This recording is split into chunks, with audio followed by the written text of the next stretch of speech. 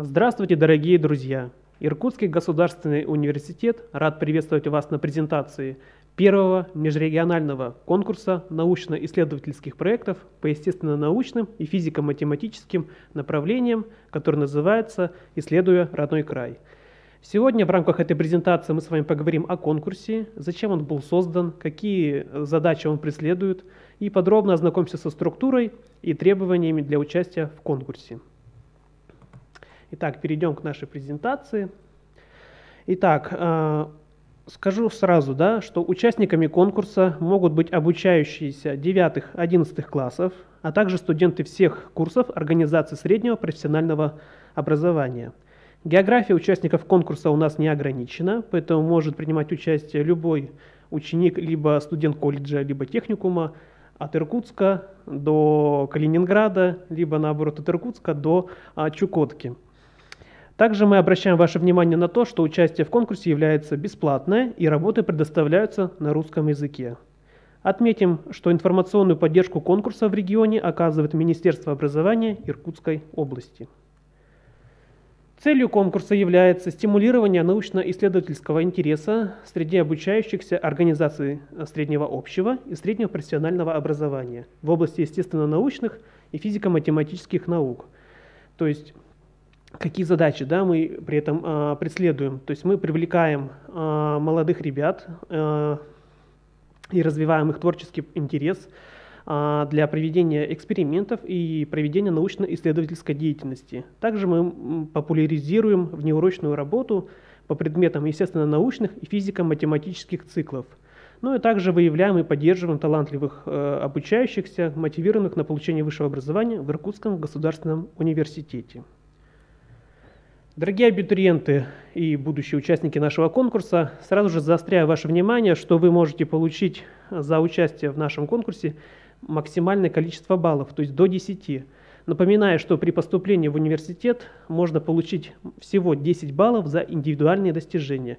Как вы видите, 10 баллов дается за победу в нашем конкурсе, 8 баллов дается за второе место, это призерство, и за 6 баллов за третье место это также призерство. Но отметим также, что вы получаете, даже приняв участие, да, не занять никакое место, 3 балла.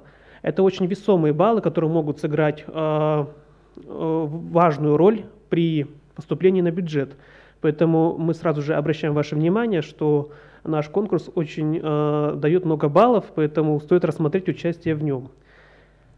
Но так как у нас проводится конкурс по физико-математическим и, физи- и естественно-научным направлениям, поэтому э, мы ограничены направлениями и профилями, на которые учитываются эти баллы. Ну, например, секция информатика, информационные технологии, математика, физика учитываются на все профили направлений Института математики и информационных технологий, физического факультета – и на ряд направлений педагогического института, например, технология, физика, математика, либо это образ... педагогическое образование с двумя профилями подготовки, например, математика доп. образования, информатика, физика, технология, экология. Ну и также все профили направления профессиональное обучение по отраслям. Также секция математика и физика учитывается на геологический факультет и на химический факультет. Вот. Секция математика и информационные технологии учитываться на все направления и профили факультета бизнес-коммуникаций и менеджмента. Ну и, соответственно, естественно, научное направление. У нас учитываются, как вы видите на слайде, различные секции, то есть это экология, биология, география, химия, а, геология. И видите, да, что у нас также учитываются на направление пединститута, и другие педобразования, да, которые реализуются, на, например, на физическом факультете, в Институте математики и информационных технологий.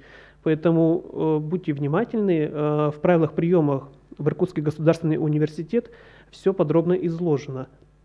Поэтому обращаем ваше внимание, еще раз заостряю, что при выборе секции, где вы хотите участвовать, да, смотрите, на какие направления, на какие профили принимаются, принимается данное достижение. Этапы проведения конкурса. Как вы видите, да, а, он состоит из пяти основных этапов. Первый прием – это прием заявок на участие и прием согласия на обработку данных. Затем мы принимаем ваши а, научно-исследовательские проекты в электронном виде. Затем, если есть замечания, то есть при оформлении, а, в оформлении проекта, либо есть антиплагиат, то мы даем вам шанс все исправить в указанные сроки. Затем проходит публичная защита проектов и награждение победителей и призеров конкурса. Ну, давайте подробно рассмотрим все наши этапы. Но для начала вам покажу, что у нас есть сайт а, нашего конкурса а, opendaysu.ru. Когда вы заходите на него, там помимо Дня открытых дверей есть страничка нашего конкурса, где вы можете подробно а, ознакомиться со, всем, со всей необходимой информацией. Вот, например, вы попадаете на нашу страничку, да, и видите подробнее. Нажимаете и переходите уже на нашу страничку полноценно. Вот, а, в правом углу есть QR-код, где вы можете его отсканировать и сразу же попасть на сайт без каких-либо проблем. Вот. Ну, смотрите, пойдем сразу же пошагово. Секции. Какие секции в конкурсе у нас э, есть и направления? Естественно, научное направление у нас делится на биологию, географию, геологию, химию и экологию. А физико-математическое направление представлено такими а, секциями, как информатика, информационные технологии, математика и физика. Но обращаем ваше внимание, что вы, в принципе, можете проводить исследования в смежных областях. Ну, например, биология, география, а, либо химия, экология и так далее. То есть в этом мы вас не ограничиваем. Также мы ограничиваем вас в том, что вы можете подготовить, например, два проекта. Один по естественно-научным направлениям, другой по физмат направлениям. Только здесь у нас э, единственное нужно понимать, всю серьезность э, нашего конкурса, и если вы понимаете всю ответственность и качество работы, выполняемой в первом и во втором проекте, то тогда хорошо, мы будем ждать от вас проектов, а, то есть тут количество у нас не ограничивается. Регистрация. Это важно, потому что вам нужно пройти регистрацию на том же самом сайте opendaysu.ru. Есть форма регистрации. Нажимаете, и выплывает у вас окошко для заполнения данных. Обязательно все поля являются обязательными. Например, а, электронная почта участника указывается, фамилия, имя, отчество полностью, ваш мобильный телефон, место обучения. Здесь вы пишете БОУ, СОШ номер 5, например. То есть полное наименование вашей образовательной организации. Если это школа, то пишите школу. Если колледж или техникум, то, соответственно, заполняете это поле. Затем обязательно указывайте фамилия, имя, отчество полностью руководителя. То есть э, это может быть учитель, э, наставник, э, то есть тот, кто вас будет сопровождать и вам помогать выполнять научно-исследовательскую работу. Указывайте электронную почту руководителя, также указывайте класс своего обучения, либо курс обучения. Вот. Напоминаю, что у нас могут принимать участие учащиеся 9-11 классов и студенты всех курсов организации среднего профессионального образования. Указывайте населенный пункт с указанием субъекта, например, город Уссури-Сибирской, Иркутской области, так и пишите. Вот. И вы, вы выбираете направление проекта и секцию, в которой вы хотите участвовать. Если это, естественно, научное направление, то выбираете, например, биология, география, геология, экология и так далее. Если это физмат направление, то а, выбирайте соответствующие направления и секцию. Затем а, на сайте у нас да, сроки. Давайте здесь остановимся подробнее. Какие сроки? Всего сроки проведения у нас с 1 декабря 2021 года по 25 апреля 2022 года. Вот. А, первая контрольная дата а, – это 31 января 2022 года. Вы подаете свои анкеты, заявки, а, что я вам ранее показывал, да, как она выглядит. И в этот же день завершается прием согласия на обработку персональных данных и их распространение. Отправляются они на электронный, почт, на, на электронный адрес, указанный на слайде. То есть это обязательно, потому что без этого мы не можем тогда а, разрешить вам участвовать в конкурсе. Вот, подробно вам чуть позже а, покажу бланки, как они выглядят и в чем их разница. Так, а, 28 февраля тоже а, такая основная дата контрольная, да, здесь мы завершаем прием ваших проектов. Работа также направля, направляется на электронный адрес zpk собака.isu.ru с пометкой «Конкурс». А все представленные работы, вне зависимости от их содержания и сложности, должны соответствовать техническим требованиям и иметь определенную структуру. Все эти требования и структура приведены в положении конкурса в приложении номер два. Поэтому обязательно ознакомьтесь. А будет потом осуществляться как раз-таки проверка до 9 марта 2022 года на наличие, на соответствие требованиям по оформлению и на наличие антиплагиата. Каждая работа подлежит обязательной проверке на оригинальность в системе антиплагиат ВУЗ. Допускается не более двух проверок на одну работу, и для участия в конкурсе оригинальность должна составлять не менее 50%. В случае, если был обнаружен плагиат, то есть менее 50%, и были обнаружены какие-то грубые а, ошибки по оформлению, а, я формирую вам ответное письмо, а, указываю все недочеты и даю вам 5 дней календарных на устранение этих замечаний. Отчет дней начинается с того момента, когда было отправлено письмо на электронную почту участника и на электронную почту наставника. Вот. Также, если вы хотите э, исправить э, какие-то моменты по антиплагиату, то вы можете э, сделать отдельный запрос в свободной форме, и я вам отправляю полный либо краткий отчет о наличии заимствований для устранения замечаний. То есть для этого на электронную почту zpk собака и суру с пометкой антиплагиат пишите, что я хочу получить полный отчет о заимствованиях для дальнейшего исправления. Поэтому я вам без проблем все это отправляю, и вы исправляете. Следующая дата это 14 марта, то есть после того, как э, все работы были проверены, приведены в соответствие с техническим требованиям, формируется программа проведения публичных защит проектов по секциям. Эта программа рассылается участникам конкурса, э, рассылается наставникам, а также членам жюри. Вот. С 14 марта по 28 марта 2022 года проводятся публичные защиты проектов с применением дистанционных технологий. А, информация о площадке проведения защиты доводится до участников конкурса и их наставников не позднее, чем за 7 дней до ее проведения. Оценивать работы будет состав членов жюри, который формируется по, каждой, а, по каждому направлению и по каждой секции в отдельности с назначением председателя из числа профессорско-преподавательского состава ИГУ. То есть у вас будут оценивать наши профессионалы, а, ведущие ученые, профессионалы своего дела, это сотрудники, преподаватели Иркутского государственного университета.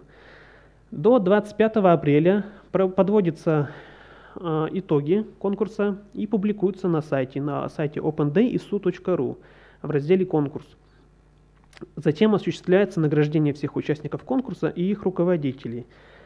Здесь заострю ваше внимание на том, что на основе протокола защиты, которые приведены в положении, а, определяются победители и призеры в каждой секции. При равном количестве баллов награждаются все участники, занявшие призовые места. Победители конкурса награждаются дипломами первой, второй и третьей степени, памятными сувенирами и подарками – Участникам вручается в электронном виде сертификат участника. Педагоги, подготовившие победителей и призеров, получают благодарственные письма с подписью ректора Иркутского государственного университета и министра, либо заместителя министра образования Иркутской области. Итак, перейдем теперь к критериям. Какие у нас есть критерии? Какие критерии предъявляются к проекту? Отмечу, что научно-исследовательский проект и его защита участникам конкурса оценивается отдельно. Если участник отправил регистрационную форму, но не предоставил проект вовремя, то участник автоматически выбывает из конкурса. Участник может получить максимальную сумму баллов, то есть это 100, за все критерии. Почти все критерии, которые вы видите на слайде, а, оцениваются по 10-бальной шкале, за исключением технического оформления презентации и соблюдения регламента выступления. Эти два критерия оцениваются по, 5, по пятибалльной шкале. Поэтому прошу вас обратить на это особое внимание. Какие документы э, регламентируют наш конкурс, да, и какие нужны вам для, нашего, для участия в нашем конкурсе? Итак, обязательно э, вы ознакомитесь с положением о нашем конкурсе «Исследуя родной край», внимательно читайте все условия, цели, задачи, какие требования выдвигаются, знакомитесь со всеми а, приложениями, которые прилагаются к этому положению. Вот. При возникновении вопросов вы можете потом обращаться контакт, по контактам, которые я дам чуть позже. Поэтому положение – это главный документ, который обязательно, с которым обязательно нужно ознакомиться. Затем, как я вам уже говорил, да, до 31 января 2022 года вы заполняете согласие на обработку данных – ну вот, например, на слайде приведено э, два бланка. Это согласие законного представителя несовершеннолетнего субъекта э, персональных данных. То есть Здесь заполняет ваш законный представитель, либо это родители, кто-то из родителей, либо это опекун и так далее. То есть обязательно заполняется первый и второй бланк. Первый это согласие на обработку данных, второй это на их распространение. То есть то, что мы можем публиковать э, результаты конкурса у, у нас на, сай, на сайте, это ваша фамилия, имя, отчество, место обучения и итоговый результат конкурсного испытания. По окончании конкурса результаты все удаляются с сайта. Это требование а бланки для, совершен... для совершеннолетних участников, то есть если вам уже исполнилось 18 лет, то вы заполняете самостоятельно эти два бланка. То есть еще раз обращаю ваше внимание, что должно быть заполнено два бланка. Первый на обработку данных и второй на их а, распространение. Ну, таким образом, а, вам обязательно нужно внимательно ознакомиться с положением конкурса, четко соблюдать сроки проведения его. При возникновении вопросов вы можете обращаться ко мне напрямую, как по телефону, так и по электронной почте, указанной на слайде. Поэтому мы ждем ваши заявки, ждем ваши интересные проекты и, конечно же, ждем вас в следующем учебном году в качестве студентов Иркутского государственного университета. Спасибо.